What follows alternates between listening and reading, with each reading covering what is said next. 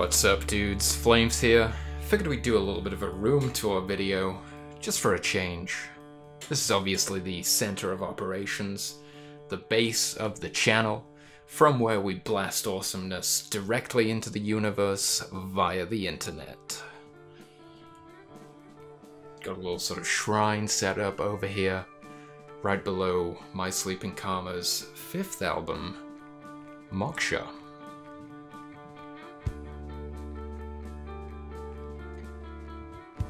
Here's my shelf of controllers, mainly GameCube pads in there.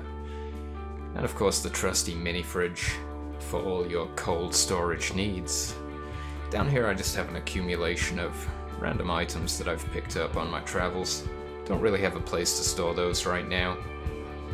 Onto the display cabinet. Got my One Piece figures here, all currently boxed because I don't have a place to store the boxes.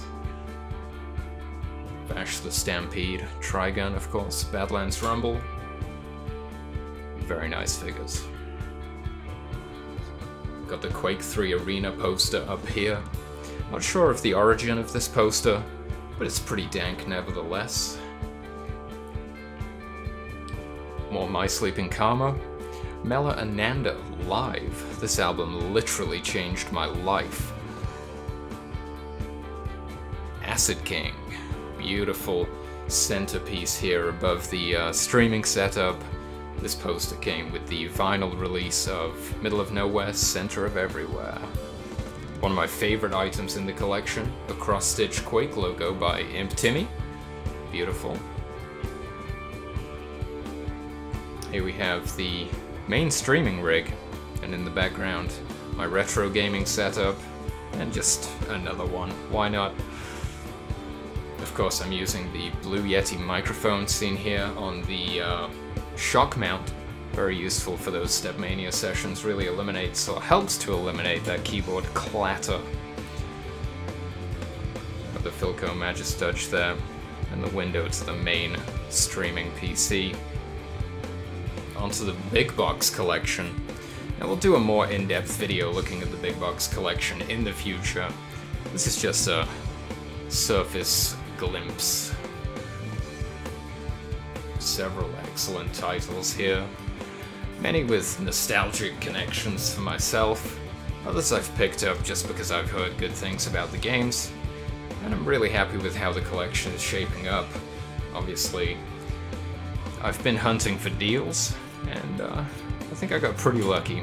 I've quite a quite a collection here, and really didn't invest that much at all. This shot's a little dark, but as you can see, you got the uh, World of Warcraft Collector's Editions. Very nice.